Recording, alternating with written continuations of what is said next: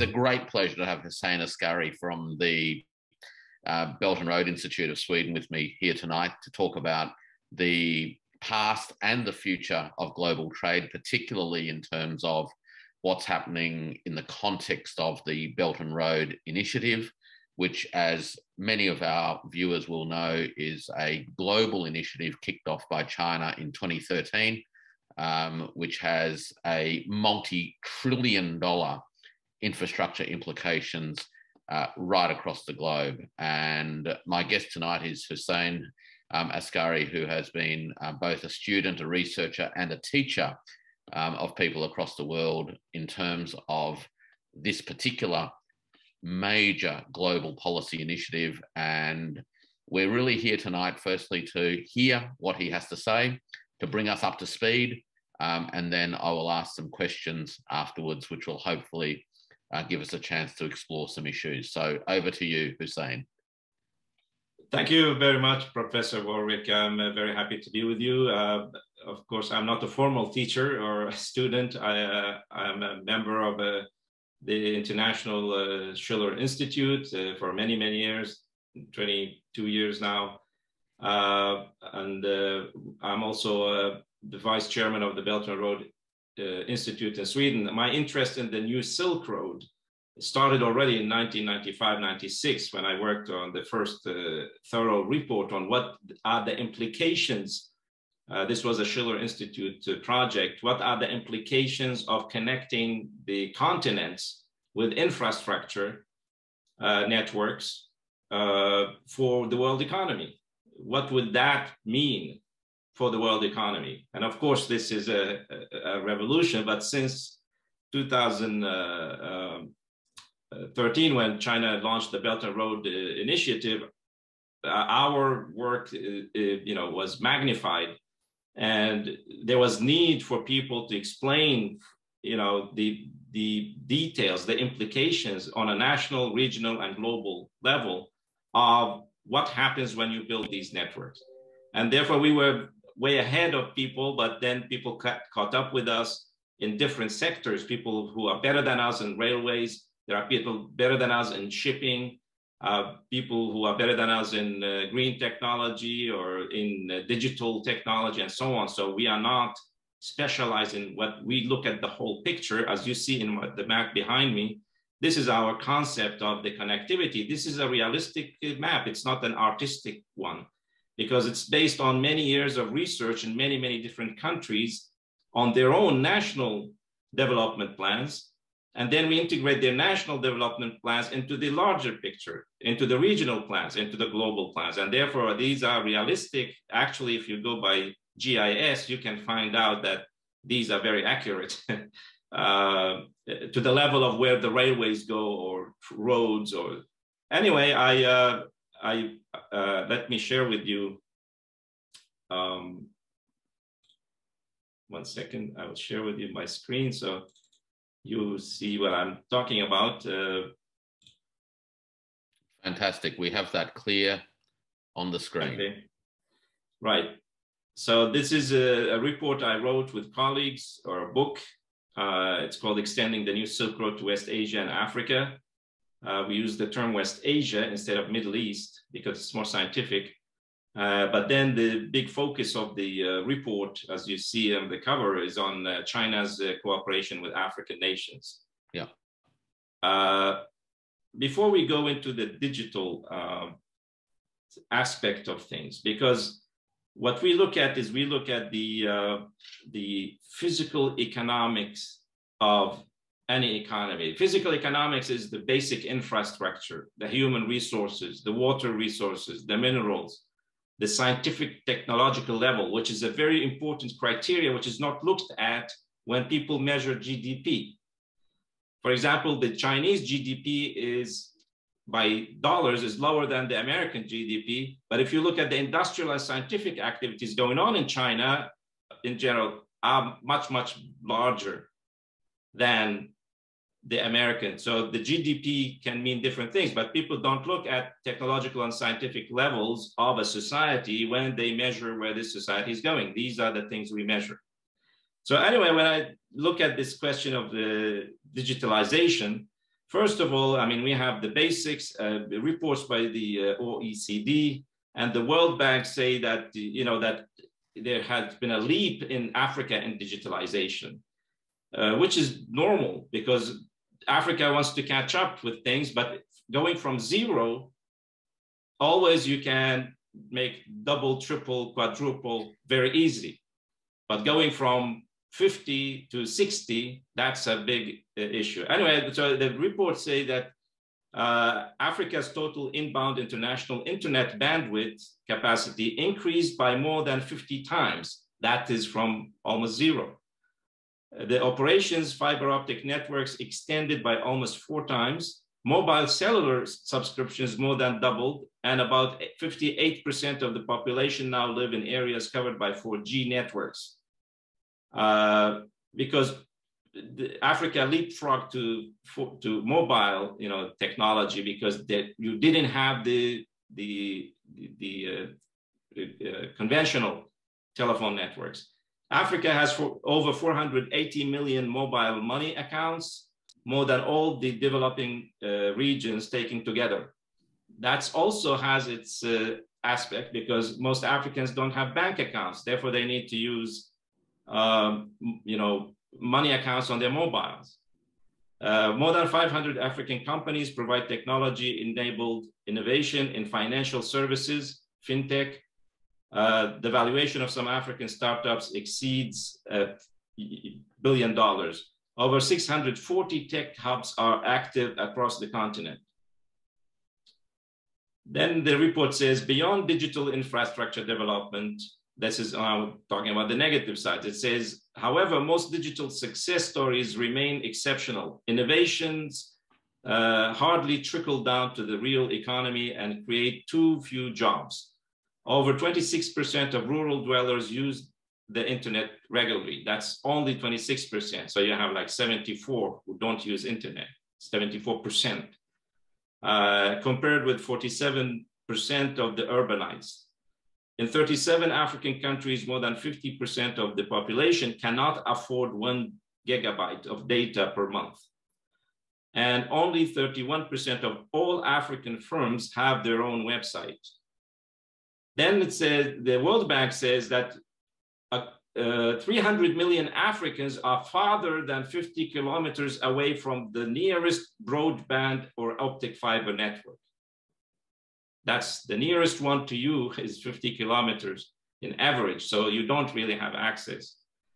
Uh, and then, which is the big issue, is that 600 million Africans don't have access to electricity.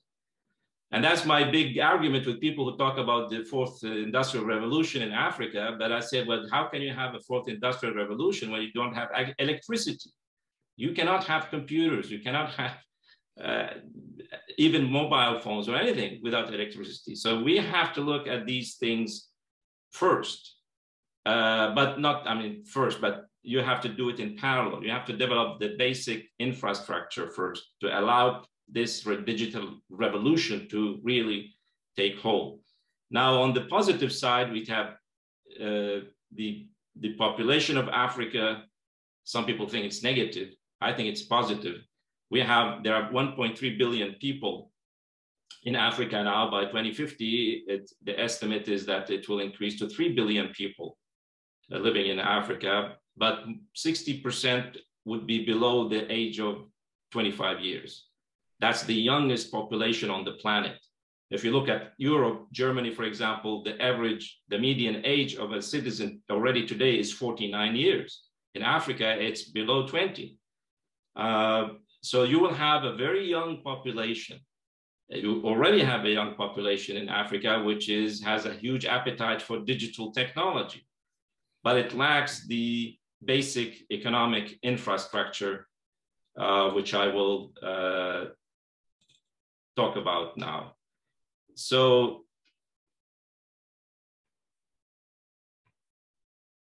how do I move to the next one? Okay. Uh, we are still in the digitalization. I looked at some interesting uh, websites where you can follow the all the submarine cables in the world, which provide us with all almost all the internet we have. Uh, these are real uh, cables. Uh, this is not like an artist imagined it. You can go to this website and click on every one of these different uh, lines and you will find who is supporting it, uh, who built it, and you have very good uh, uh, uh, picture of each one of these. And these are, it's mostly run or owned by Google, Amazon, Meta, and so on and so forth, but different uh, uh, telecommunications companies of the world uh, also own shares in this. So this is a really global village, you know, where every nation in the world can connect to this and have a share in it. But there are the big players, uh, and uh, you have the small players. Um, depending on the advancement of the cap- capability to have, you know, telecommunications uh, technologies and uh, building, building the cables themselves. Now, 10% of these are not Chinese, these are global, these are global networks. So these are not Chinese yet. But China has a 10% share in the in average in this whole global uh, network, uh, which already connects East Asia, with Africa, with the West Asia, with the Mediterranean, and Western Europe. The, the Chinese companies have 10% stake in these international, uh, but this is 10%. It was like zero around uh, less than 20 years ago. So this is a big uh, advancement. And the big uh, players in China, in the global, the Chinese players in the global are the China Mobile, China Telecom, China Unicom, and so on and so forth. But now China is developing because it is now mastering the art of building these digital cables or these uh, submarine cables and the digital technology from A to Z. Now China is developing its own networks. Also, there are strategic aspects of this because, you know, for geopolitical reasons, China could get cut off, like uh, Russia today is being cut off from financial systems. China could easily get cut off from the digital systems of the globe. Uh, so therefore, China is building its own. This is called the Peace um, uh, cable, which is uh, built by Chinese uh, uh, by Chinese companies, and it connects, uh, you know, East Asia to we have Pakistan. there's a hub. We have the UAE. There's a hub, United Arab Emirates. But then East Africa, in Egypt, there are two one cable, submarine cable was, was, but also one was overland cable, and then it reached into France. So China is developing its own independent uh, cable network. Uh, this is have become more and more important now. You, we discussed earlier the question of which you are interested in also on the digital commerce, uh, digital trade.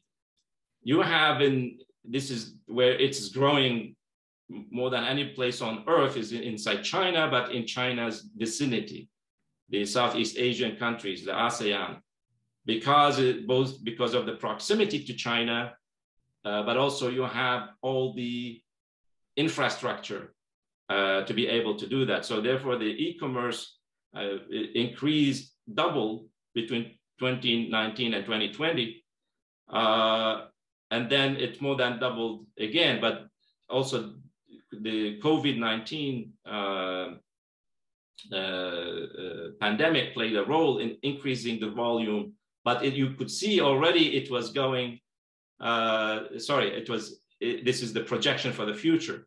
But it, with or without the pandemic, uh, you can have an explosion that this trade, this type of trade has no limits basically. Uh, what the limits are, are the physical limits of trade, transport, logistics, and the product, the availability of the products you want to buy. Now, today we have a food shortage uh, in the world because of the crisis in Ukraine. So if even if you have the digital means of trading in food, if the food is not there, it's, it's going to be difficult. Or if the transport routes are blocked, if there's a war somewhere in the Uh, uh, the Arab, uh, the, the, the Gulf, the Hormuz Strait could be blocked, or the Bab el Mandeb Strait could be blocked and the Red Sea, then you will have uh, all the digital trade you have will have will be in trouble. So there are many different aspects of this. It's not only having the digital trade. It's not only having the ability to, to order something. The issue is where this product comes from, how it's produced, how it is transported. And therefore, this is the image of Africa we use often is that African nations, because of the colonial heritage, African nations are disconnected from each other. Uh, all the railways were colonial railways meant to take, extract raw materials or from plantations to the nearest port outside Africa. So instead, what is needed is to integrate Africa. Uh, World Bank report in 2008 uh, you know, it looked at the trade, inter-African trade. That's trade between African countries themselves is only 13% of all African trade. The 87% of African trade is the with the outside world. And the World Bank says if we only upgrade the existing routes in sub-Saharan Africa, only upgrading, not building high speed rail, not building highways, only if we upgrade to a reasonable level, trade would increase among African nations by mostly by 500 to 1000%. That's remarkable. yeah. If only if you do that, if you connect the African countries together with basic roads. So then we have the other issue without which you cannot have digital or digitalization is the, the lack of electricity, lack of access to electricity. And you can see that the nations who are farther from the sea are the nations who are the poorest in that sense. I mean, we have big discrepancies in Africa because in Northern Africa, North Africa, you see it is, you know, you have almost total access to electricity uh, and also in South Africa. But in sub-Saharan Africa, the Great Lakes region, I mean, it, it, ironically, uh, Rwanda is being uh, is becoming the digital hub of all Africa in a sense, but you have big problems with it, providing electricity there. So this has to be taken into consideration when you think about future plans for uh, for uh, uh, you know, for digitalization and trade and so on. So the, the I mean, the priorities of the UN uh, Sustainable Go- uh, Development Goals for 2030 are reasonable because they start with ending poverty, ending hunger, providing healthcare, education, gender equality, clean water, uh, energy, industrial capacity, all these things. Uh, and uh, in that sense, you know, these things are not really priorities in Europe or the United States, ending hunger or poverty, because Europe and the United States have gone beyond that level. And therefore, China is attractive for Africans because China, people still remember when they were hungry. Yeah, when sure. there were no roads, when there were there is no electricity. So they understand that this is what you need to fix. European American approaches, they know you have to end uh, corruption, you have to, to democratize, you have to have equality among the genders, and then everything will be fine. this is this is the uh, European American approach. That's not really true. And therefore, Africans tend to want to work with China because, as a developing nations, which managed to go from a very poor country to the second economy in the world, uh, is very fascinating. And in 2015, President Xi Jinping in the China-Africa Forum for Cooperation, the FOCAC, he made very remarkable uh, statements because he said Africa should industrialize. That's your way out of poverty. Now, you would never hear a European or American statesman who would say that. He would rather say, no, you should not industrialize because, as Obama told the students in South Africa, if you everybody in africa has a car a villa and air conditioning the world will boil over that's what obama told africans and yeah. uh, but president xi jinping says we should you should industrialize and it's possible africa has enormous promise enormous human and natural resources uh, to do that. Of course, you have to do it in a way which does not damage uh, the climate. And then he talks about the three bottlenecks of developments that Africa needs to resolve. And these are the shortage of capital, shortage of skilled labor, and lack of infrastructure. And he said if Africa can solve these three, then Africa can launch into the future as a great continent. And he said, of course, China will be willing to help uh, in these three, but that would not be enough for all of Africa. So China has invested in infrastructure. In the first years after his speech, 60 billion, there will be 60 billion more. Uh, that's to solve the shortage of capital. We had the other bottleneck is the, the skilled labor. Uh, China has actually uh, surpassed both the United States and the United Kingdom in the number of students, African students studying abroad. Uh, so China receives more African students than both the United States and the UK. Only France, because of its history with Africa, is still the leading country where African students go to study. But then the Chinese, when they build these projects, they what they tend to do is they educate the local labor to run these projects. These are the ladies who run now the uh, Mombasa Nairobi Railway. They got courses in China. A few of them, I heard them on TV speak Chinese. They yeah. learned very quickly.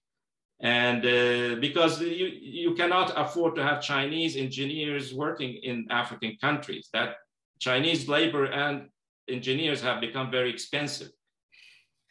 Yeah. So you have to train the local uh, then the lack of infrastructure in 2014, uh, uh, Prime Minister Li Keqiang was both in East Africa and uh, uh, West Africa and promised African nations to work with them to connect all African nations with railways. Uh, this is a map. These are not Chinese plans. These are African plans. This is the Trans-African Highway network, which has been on the drawing board since the 1980s from the Lagos plan, 1982 but it was never built. But the other thing which we learned from China, it's actually for long haul, it's better to use railways than trucks. Mm-hmm. It's more economical and it's more beneficial for societies. So China has promised to solve also the problem with the lack of infrastructure. But as I said, China alone cannot solve the problems of Africa. We need Europe, the United States, Japan, India, everybody involved in this. And China made record achievements uh, like the uh, Djibouti um, Addis Ababa railway. It was built in three years on, only. And this is part of an Ethiopian national development plan. This is not a Chinese plan, once again. China goes to those countries and tells them, what is your national plan? What can we help with? What, how we can benefit both of us from this? This is a, a plan to build eight major industrial zones. There are three of them are built now, in cooperation with China. They produce uh, textiles, uh, produce auto parts, even cars, Chinese cars are produced in Ethiopia, and so on. So these are national development plans. We had, uh, as I showed you, the Mombasa uh, uh, uh, Nairobi Railway. This is part of a larger Af East African plan to connect all the East African countries with the Great Lake nations. It's called the East Africa Master Plan and China is is is on the way to help with that, but it's working with each national government alone, not working with all the group together, because each nation has its own specific condition.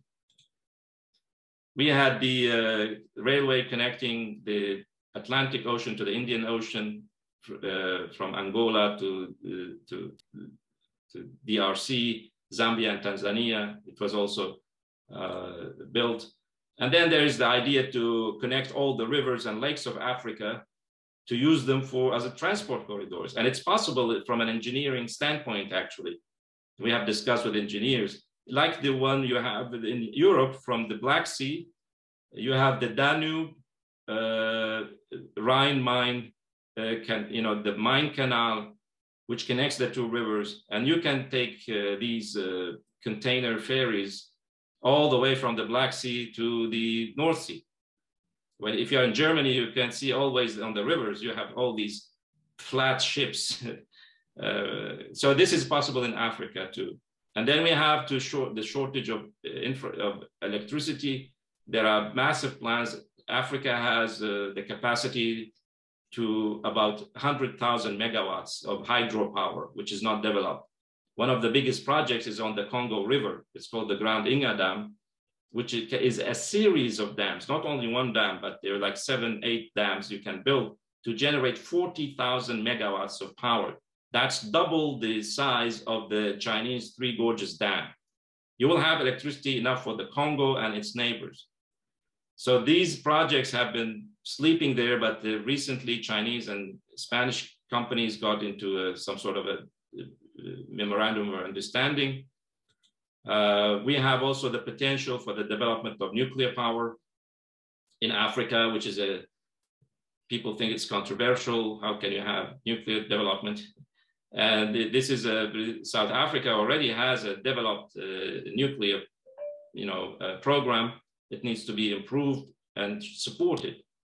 You have you can have new technologies, fourth generation, these pebble bed uh, uh, reactors, which China is now developing too. So this is where the future is. Egypt is uh, building both a, a, a major uh, nuclear power complex uh, in the west part of the, city, of the country, but more interestingly, it's building a school, a high school for nuclear technology. Young people, 16, 17 years old, they go a three years course to learn how to run and manage nuclear power plants.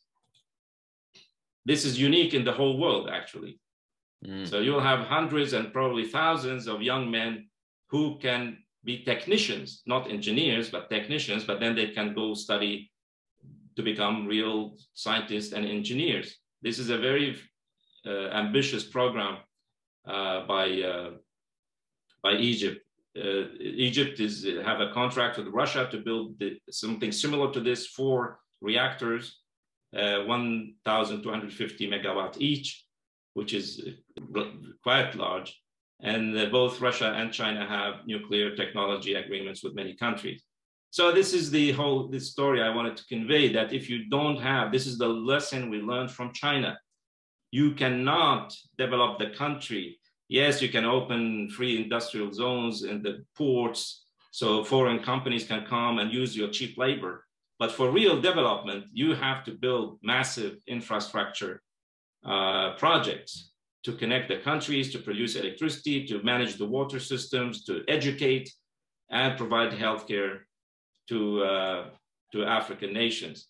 And I think the, the ambitions of Africa and, and also the willingness of China to do that uh, are quite synchronized in a sense. And this is the image I always use uh, because uh, I asked a, a friend of mine, an artist, to look at my book and see if we build all these projects we mentioned in the book, how would Africa look by nighttime compared to what it is today? This is from 2015, uh, a NASA picture, the one to the left. This is how Africa looks nighttime. And you can compare it to Europe, a bit north of it. But if we, you know, by 2050, Africa could look completely different uh, than what it is uh, today. So this is what we talk about is if you don't develop the physical economic basis for a modern society, all this talk about the fourth uh, industrial revolution, digitalization, digital trade, as I showed you, you can order things from another African country, but it will never arrive because there are no roads. And therefore, these, these things have to go uh, along each other uh, in the in the discussion of development. So I stop there and uh, well, I, am sure you have lots of questions. Look, I don't even know where to start, but um, thanks very much for that um, very big picture, rapid overview. Because if anybody watching this did not appreciate both the challenges and the opportunities of the African continent, um, I'm sure they do now. Um, and uh, uh, we have a great team in South Africa, and I learn new things every day and every week working with them about the challenges and the opportunities of that part of the world. a couple of things about what you said struck me that I'd be curious about in terms of your thinking. Uh, and they both go really towards questions of timelines. Um, one comment you made was about um, the the history, which is that there have been plans in the past, but nothing happened. Um, and then the other thing that struck me was your comment about the projections on both population size into the future and the demographic composition of that population, the youthfulness of that population. And I'd be interested in your perspectives on what you think the next 10, 20, and 40 years is likely to start to look like, and what it is that people within Africa and around the world who are doing business and trading with Africa can perhaps look forward to. Okay, I can't. I put on the blinders. It's too strong, too bright. you might need. You might need the sunglasses by the sound. Yeah. it's. It is quite cold here right now. It's uh, always still below zero so most of the time, and some it on during the day it goes above zero, but it's still cold. But the when the sun hits right into your face, you need sunglasses. True.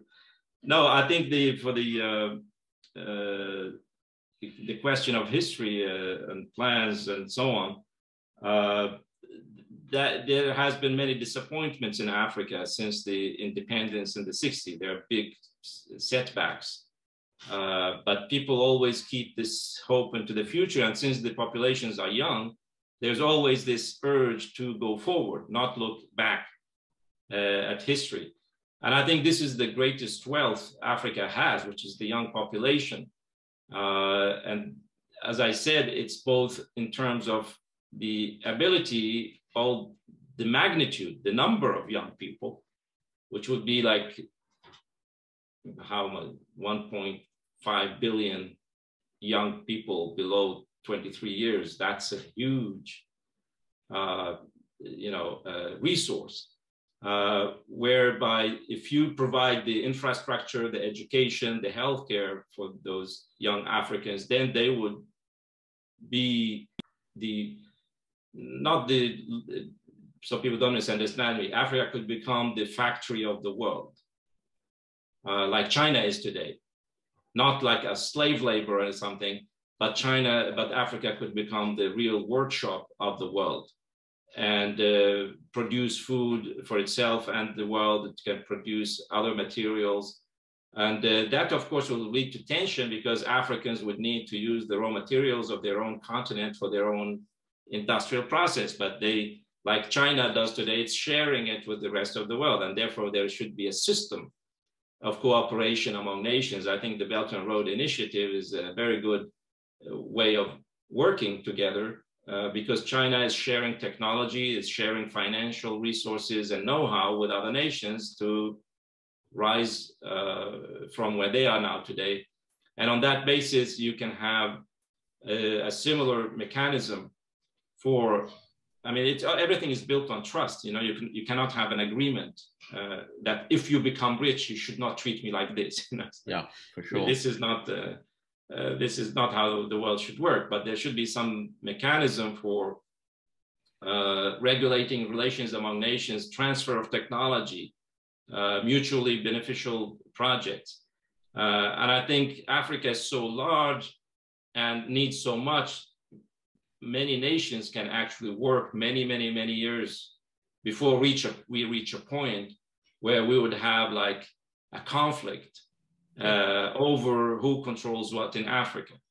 I think those nations should remain sovereign and independent in a sense and work together as a unity, but then uh, they should establish friendly relations with the with other powers. So in that sense, there is a, the demographics uh, are very important in this sense, and also, as I said, the young people have this proneness to digital technology. Now, what uh, I think digital technology, most of it is used for entertainment, but there is very useful aspects of uh, as in trade, in education, transfer of technology.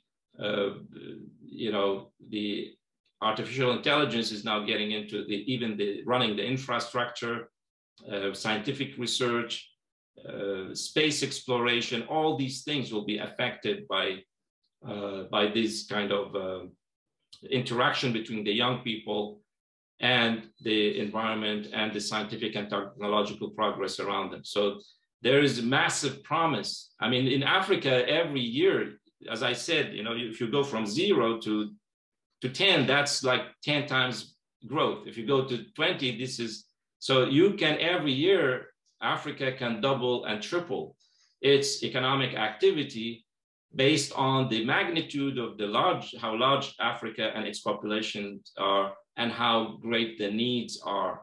And there's also how big the potential is. So there are really no limits how much you can develop uh, the trade, the communication, the, the internet, the digital trade, and all that. There, there are no limits because Africa is still on the rise, so to speak, and the, there are huge needs for fulfilling the, the, what these young population needs. I've got a whole lot of questions, but I'll try to do them one at a time to give you an opportunity to absorb and answer them and share some of your wisdom. Um, I am struck by the map behind you and the connection points and the transit routes that that map illustrates. Now, of course, that map shows a lot of terrestrial connectivity, and there are also, as some of your previous maps showed, some undersea cables. And of course, there is shipping and aeroplanes as well. But one of the things that strikes me about a lot of the Belt and Road um, Initiative work is the emphasis on railroads as the main methodology of transportation and the and and so I guess my question is this: um, Africa has a lot of growth opportunity by virtue of demography and by virtue of its stage of industrial development. At the same time, the Asian markets, you mentioned the e commerce growth potential there, also speaks to very significant demand for products and resources from all over the world. And I'm curious about how you see those two worlds physically connecting through these railway and, of course, the overseas trade infrastructure. Yeah, I mean, the, this is a whole integrated system of uh, logistics and transportation. The, the, the, railways are not separate from the ports, the ports are not separate from uh, the digital systems. So I think the Belt and Road Initiative is a, a, the idea is to integrate all these uh, different modes of infrastructure into one unit and to smoothly move from the river to the land to this you know to the railway to the road to the port to the ship and then offload it and then use the digital system to connect all these to make everything move smoothly. You know we have the multimodal transport uh, means have developed very very well I mean, uh, in, in a way, like, for example, from China to Europe, you can get, I mean, there was a race to reduce from 20 days. Uh, if you have a container going from Xi'an or Chengdu, when will it arrive in Hamburg or Duisburg? And, you know, since 2011, it went from 25 days to 20 days to 14 days. And now they are trying to cut the edges to make it 12 days or 11 days. So there's always potential for development, but it's based on developing the infrastructure itself.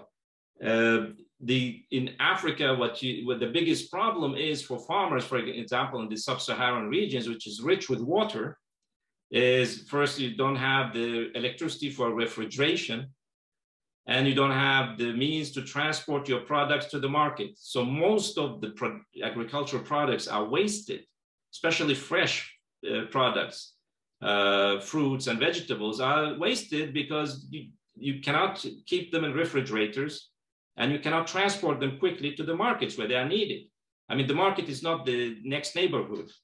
Uh, the market could be another country, another city in your country.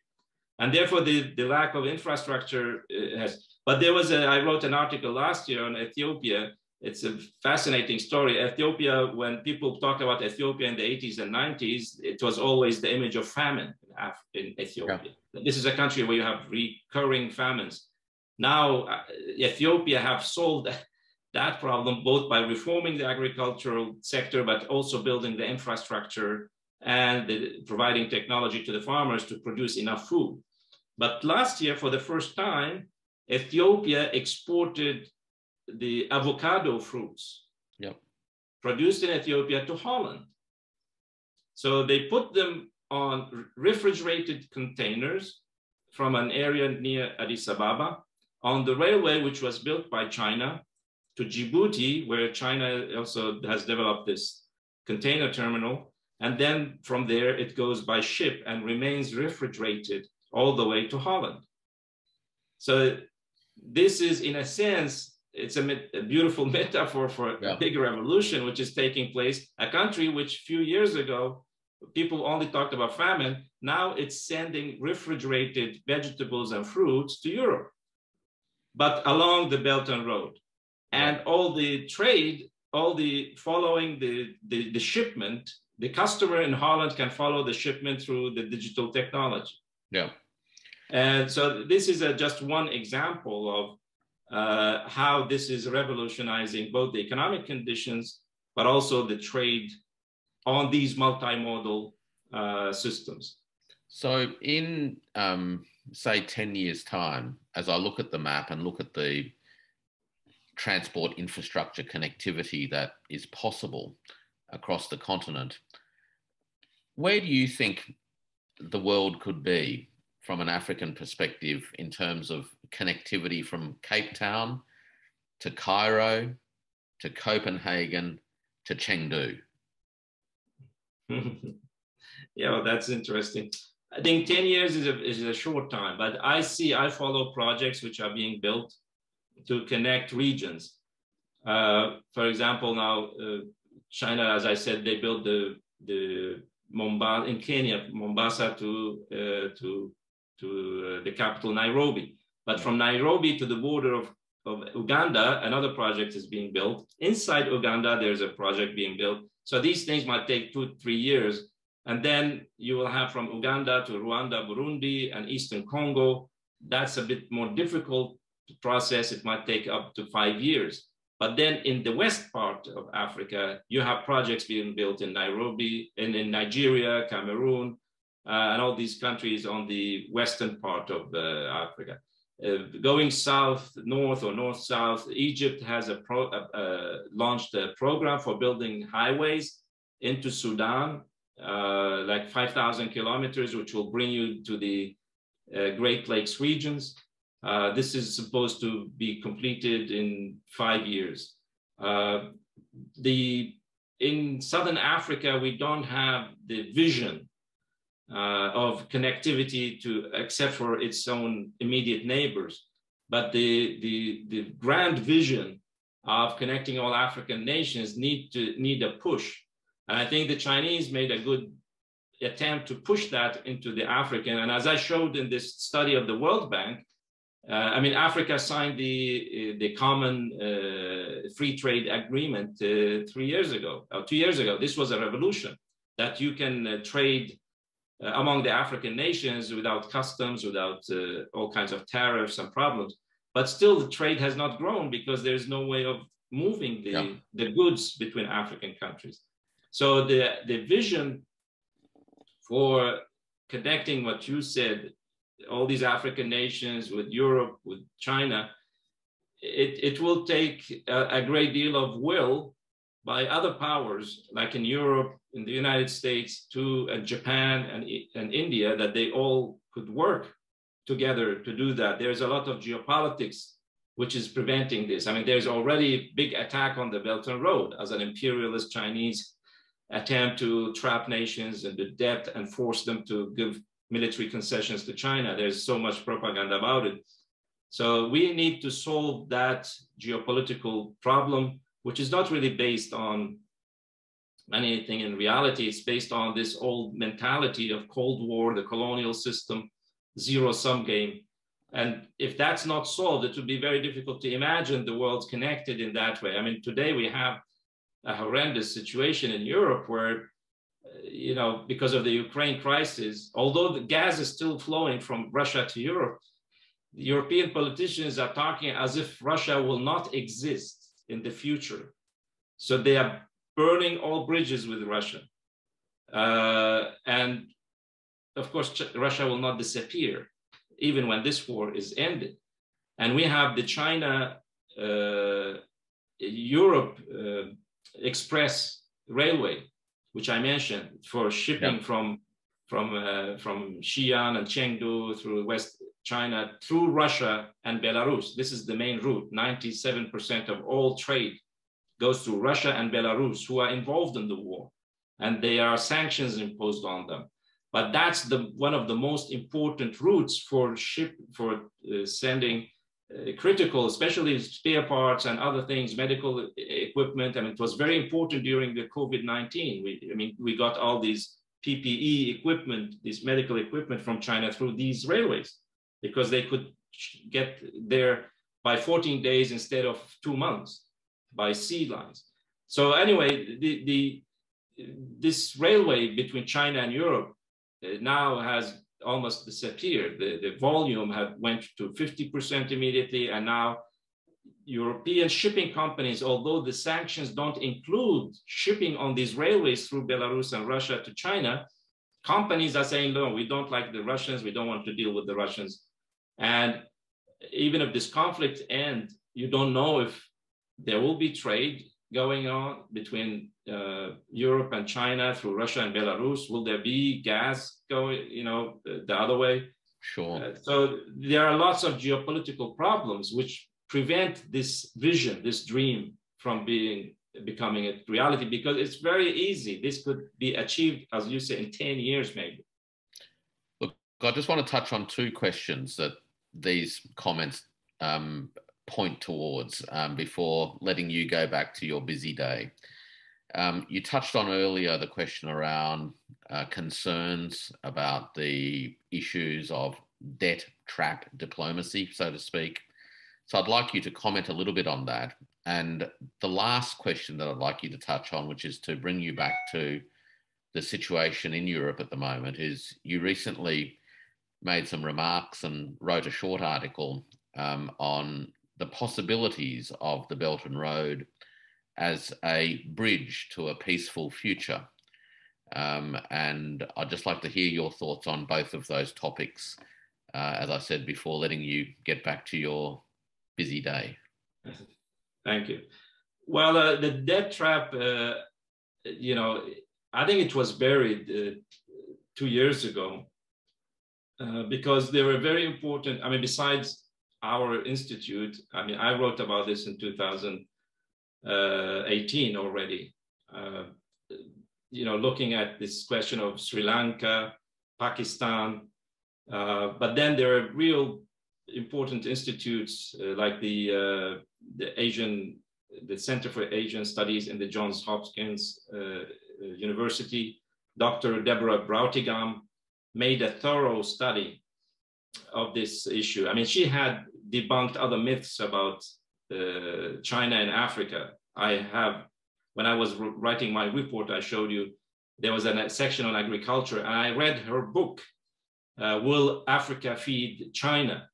Because the, in 2008, 2009, when we had the food uh, crisis in the world, uh, people started spreading, uh, you know, disinformation that China is taking over agricultural land in Africa to produce food for China, and uh, uh you know, the depriving Africans from eating that food. So Dr. Deborah Brautigam, she traveled to Africa for several months to go to the places where this stuff was mentioned, and she found no basis for that. Uh, so now she she has become an expert on these this kind of stuff. So she did a thorough study of the debt of several countries, but especially Sri Lanka, because the port of Hambantota became a template. Yeah. In my article 2018, I said this was concocted in the US State Department.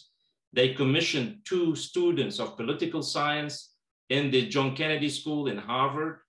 I have a whole, I read their report. I mean, they were commissioned by the State Department to write about the threat of debt trap. So they yeah. designed a report which they sent back to the State Department, and the State Department gave it to the media. And Sri Lanka, they said the port of Hambantota should be the template because there were no other examples, China taking over a port. What happened in that, as Dr. Deborah Brautigam shows in her study, that Sri Lanka was in de deep financial problems, not because of China, because the amount Sri Lanka had to pay back for the loan are very small. Sri Lanka had borrowed money since the end of the civil war in Sri Lanka for recovery from international bond markets, which are dominated by Western banks yeah. and Japan. Mm-hmm. And in 2018, 2017, 2018, Sri Lanka had to pay back a lot of that debt. And instead of defaulting, they asked for help. So China, they asked, the Sri Lankan government asked Chinese, they offered the Hambantota port for leasing internationally, not only to China, but nobody wanted to take that. The Chinese yeah. came and took the offer given by the Sri Lankan government to lease the port in return for about a billion dollars, which the Sri Lankan government used to pay the debt for the Western countries. Yeah. it's so ironical. It is very ironic. And she says this was not debt trap, this was a debt bailout. China bailed out Sri Lanka because the Sri Lankans were going to default on their debt. China helped them. But in return, they got this contract offered by Sri Lanka to lease this port. And now, by the way, this port is growing. It's a very, very strategic, important port. And actually, China has invested even more in the Colombo port, yeah. building a whole city around the Colombo port in Sri Lanka. And this is a massive. So there are other examples. The, the end of the story is that actually the most of the countries where China is going to build infrastructure, they are already in a death trap. Yeah. Caused by borrowing to cover for fiscal problems or trade deficit. As I wrote in my article about the case of Pakistan, Pakistan was borrowing to cover the trade deficit. They, Pakistan was borrowing money to buy oil and gas from the Gulf countries to produce electricity to the range of $14 billion a year and their trade deficit increased and their debt increased based on that. What China did is that building power plants to make Pakistan produce the electricity at home instead of borrowing money from British banks. I had one example, Chartered and Standard, they borrowed $1 billion one year at the interest of 4% to buy gas and oil from Qatar. Now, Pakistan can produce that electricity from the dams and power plants built by China for an investment of $20 billion, but they can produce electricity for 50 years. Yeah. So Pakistan immediately can slash $14 billion a, year from its trade deficit. So actually, China is helping those countries pay for their debt to the Paris Club, to the IMF and World Bank, and so on. So the issue what people don't understand, there are two things. You have productive credit. You have to ask, what are you doing with the money you are borrowing? Are you borrowing the money to pay old debt? That's a trap. That's what happens in Africa. That's what has been in Greece. You borrow money for higher and higher interest rates to pay old debt, and it accumulates, it becomes bigger and bigger, and your economy is in a state of attrition. If you borrow money to build infrastructure, electricity, agriculture, industry, that's productive credit. That the very projects you are building, they will enable you to increase your productivity and increase your income so you can sustain your debt. So there's a fallacy in looking at every loan in a similar way. Sure. No, sure. there are productive loans, there are debt traps. Yeah. Now, the last question um, the prospects of Belt and Road and trade as a bridge to yeah. a peaceful settlement of the European crisis. You touched on this in some recent interviews, and I'm curious about your perspectives on that, given that uh, where you are physically is, of course, uh, very close to the epicenter of the action.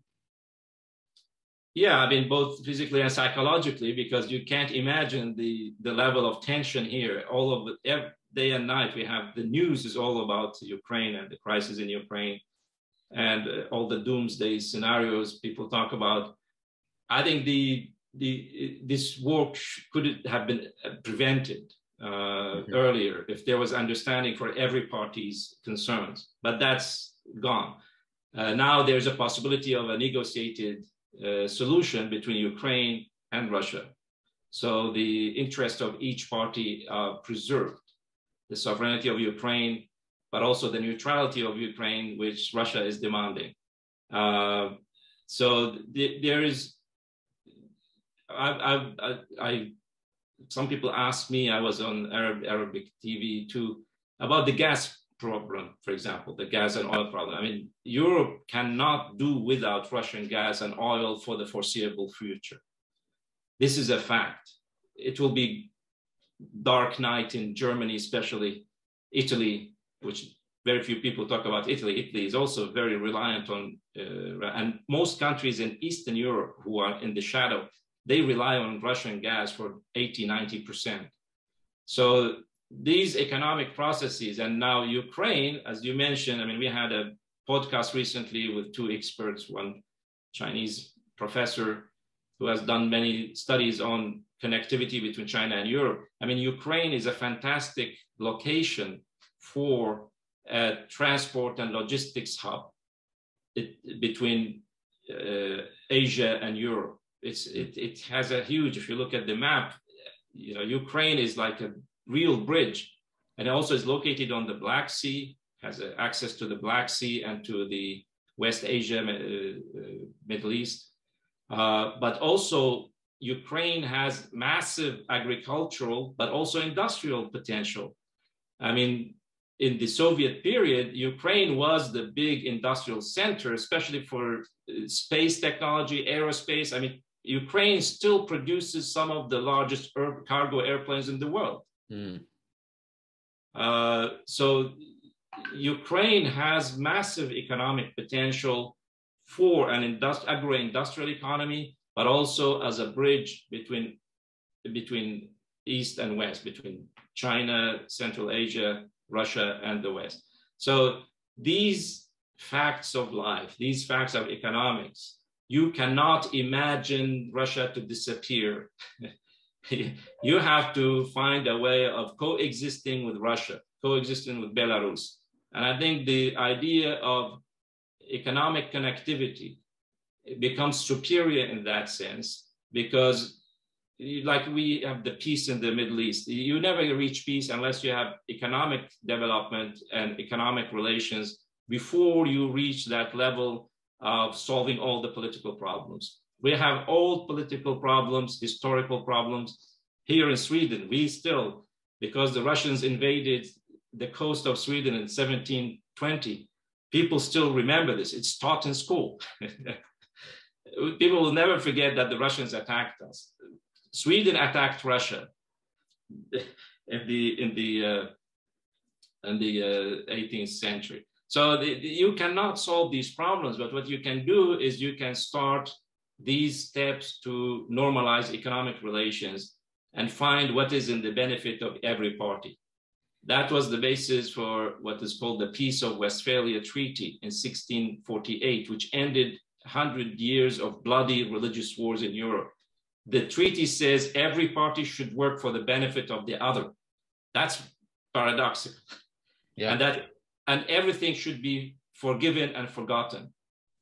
That's, I think, what will eventually. Uh, the Schiller Institute has a conference now uh, on the 9th of April with diplomats from all these countries uh, and experts to discuss what will be the shape of peace uh, after this conflict, if this conflict is achieved. And it's mostly based on building these economic bridges among nations. I mean, China has invested a lot in Ukraine. I was told mm-hmm. recently, it's not a well known fact, but China does not discriminate. I mean, they have huge investments in Belarus and the Great Stone Industrial Park and the transport hubs, but they also were intending to make big investments in Ukraine.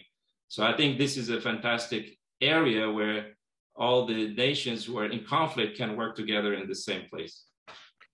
Well, we can only hope so, and we hope that um, the alignment of the economic, material interests of peoples in different countries can create the basis of some common ground where we can find peaceful resolution to sometimes long historical differences of opinion.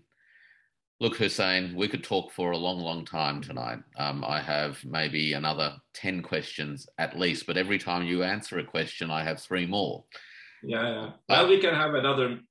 But I would love to have another um, session and maybe make this a regular feature to um, get both a European perspective on um, what is happening in the world of global trade and economic development, but also a European perspective on the BRI, which I think is um, a tremendously significant global initiative, obviously at times controversial, but nonetheless leaving its mark right across the world. And I'd just like to thank you for your insights tonight, particularly in terms of what's happening on the African continent. And we'll definitely arrange another time to catch up soon. So thank you once again, Hussein, and have a fantastic day. Thank you very much. It was a pleasure talking to you. I'm very happy. Right. Thank you.